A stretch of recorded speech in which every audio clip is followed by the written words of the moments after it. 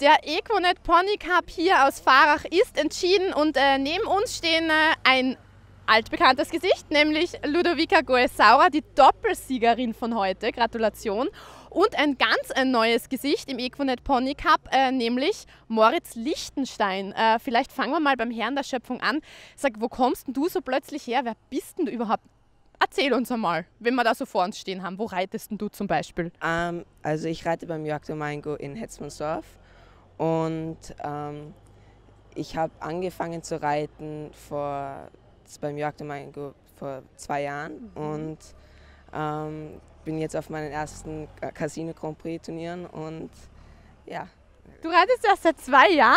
Ähm, beim Jörg, aber davor ähm, bin ich ähm, noch bei anderen. Ähm, okay. Ja. Okay, aber jetzt so ist mir mal kurz das Herz stehen geblieben. Okay. okay. Ja, gratuliere und du bist ähm, ich muss dazu sagen, wir kennen den Jörg alle, der ist immer emotional und er ist, während du geritten bist, neben mir gestanden und hat dann so laut gejubelt und gesagt, das war dein allererster Grand Prix, das erste Mal 1,25. Wow, was ist dir denn da beim Start durch den Kopf gegangen, bitte? Ähm, also das erste, ähm, das erste offene Wasser und ähm, die ganzen Faktoren im 1,25 ähm, und auch die Höhe. Ich bin noch nie so hoch gesprungen und deswegen ähm, war es natürlich ähm, überwältigend, ähm, am Ende dann fehlerfrei durch den Parcours zu kommen. Der nächste Pony Cup in Preding, bist du da dabei?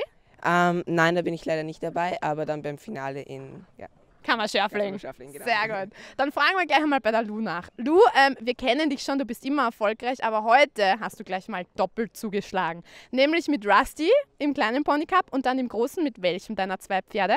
Mit der Lilly Vanilli.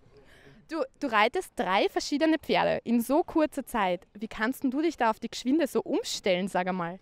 Es war sehr, sehr stressig und ich hatte kaum Zeit für das eine Pferd zum Aufwärmen, aber ja, man schafft es dann irgendwie immer. Du schaffst es irgendwie immer, ja, das merkt man. Was geht denn dir überhaupt noch so, wenn du am Start bist, durch den Kopf? Bist du überhaupt noch nervös? Ja, natürlich bin ich noch nervös, aber ich gehe den Parcours dann einfach noch ganz oft durch und dann so, bis ich mir sicher bin. Ja. Und dann bist du sicher und dein Pony auch, ne? Ja, manchmal. Meistens, muss man sagen. Also ihr zwei, gratuliere euch zu dem coolen Erfolg heute. Man muss ja dazu sagen, ich weiß nicht, ob wir es vorher schon gesagt haben, du bist Zweiter geworden heute. Also mega und das gleich im großen Pony Cup.